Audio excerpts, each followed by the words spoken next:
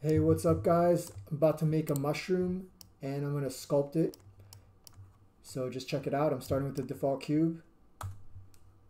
Switch to edit mode and just grabbing the face on top, okay?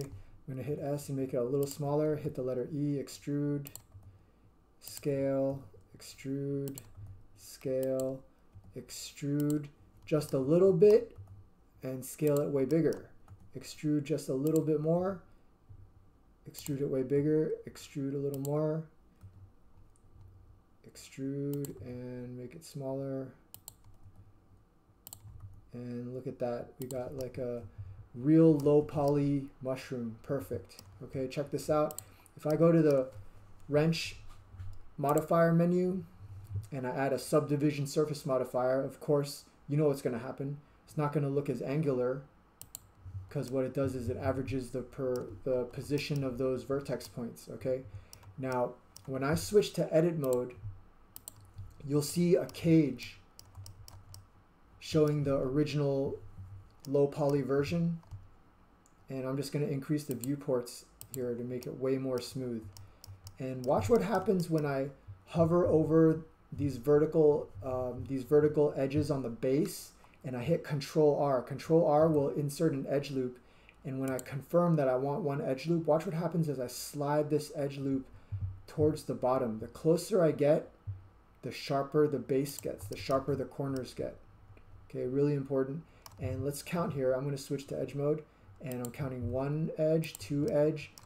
When you want a sharp corner, you need three edges. All right, I need a third edge. So I've got one edge selected up here. I've got the second edge right in the middle and I need a third one on the other side of the corner. So how do I do that? Well, I could just switch to face mode and select this bottom face and I'm going to hit the letter I to inset it. Okay, when I hit the letter I to inset, it creates, it extrudes a face, scales it down, and that gives me my third edge here. Okay, I know you guys probably can't really tell, so let me disable this modifier. And what we've got here is three edges to define a sharp corner. Okay, I hope you guys can see it better from this angle. One edge, two edge, three edge. Right? One edge, two edge, three edge. That's how you define a sharp corner. Alright, so let me click on this real-time monitor button over on top of my subdivision surface modifier Okay, that's the that's the button that allows you to enable and disable your modifier. So I'm re-enabling it. You can see it's really smooth except for the sharp corner down here because I created three edges here that are really, really close together. Three edges help define a sharp corner. And that's how that's how I smooth everything out except for the areas I, I define the corners that I want and I could always right click and choose shade smooth in object mode and that's going to make it look really smooth. Okay now I'm gonna I'm just gonna jump into sculpt, sculpting mode and I want to showcase a really quick way to put some detail onto something. Let me turn off symmetry. And I'm gonna drag my tool panel out a little bit more. When you drag it out a little bit more, you get to see all the tools side by side in two columns. But if I drag it out even more, you get to see the whole list with names on them. Okay, I, I prefer to see with names as a teacher because I can kind of call out call out the brushes that I'm using and people can read and see which ones I'm using because some of these icons are hard to see. All right, I'm gonna hit the letter M. If I scroll all the way down, you can see that M will activate my mask brush. And of course, when you're using a mask brush, I highly recommend increasing your strength all the way up. And I'm still using a mouse. Of course, if you have a tablet, you could use your tablet. And using the letter F, I can uh, I can make my mask um, mask brush a lot bigger. Let's see, I can't really see what's going on here, so I'm going to choose a different color MatCap. Okay. And I want to just draw a mask on here. Let's see, let me switch back to layout here. It is selected. Okay.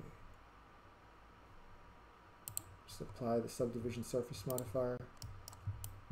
Okay, and I'm drawing my mask on here with a high strength brush. Okay, that's kind of low res. Uh, I'm going to shrink it down a little more. Okay, I'm just going to make some small black dots.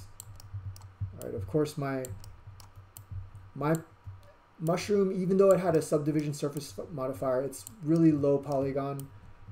So these these spots look really low res, okay? Um, you know what, I'm kind of embarrassed about that. Let me just hit Alt M and clear my mask. And I'm gonna switch back to layout. And I might as well subdivide it one more time. Subdivision surface modifier. Let's give it another subdivision, apply it, and that's way more detail, okay? That's way more detail. Switching back to sculpt mode, I'm activating my mask tool, and now when I draw a little dot, it really does look like a real circle. Okay, I'm just gonna draw some dots here, and maybe I'll hit F and make my brush size a little smaller, and I'm just gonna put a little bit of a squiggle here on the side. Okay, that's good enough for now. I just want to show something here. Now that I've got some masks, imagine putting masking tape uh, all over a model and then spray painting it. And then you peel off the masking tape. Well, then you'll have some areas that were not painted. I'm going to do something really similar. These, these spots represent areas that have been masking taped.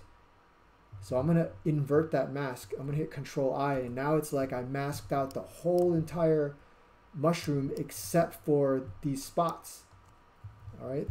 If I scroll all the way down, there's an icon over here that looks like a kind of like a blue ghost popping out of a, eggshell or something. It's called mesh filter.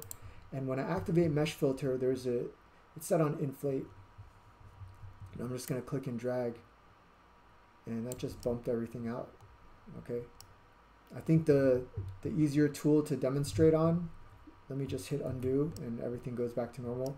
It might be easier for me to simply highlight and activate the inflate tool, bump up my strength, hit F to increase my brush size, and just click and drag over the top of some of these areas. Okay, so if I just do a quick, quick stroke over some of these unmasked areas, I'll make them get bumped out.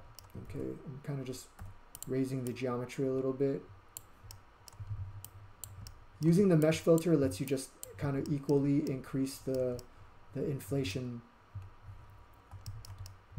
evenly on all vertex points. Now that I created a little bit of a bump, I'll just hit Alt M to clear out my mask. And those bumps are have now they now remain. All right.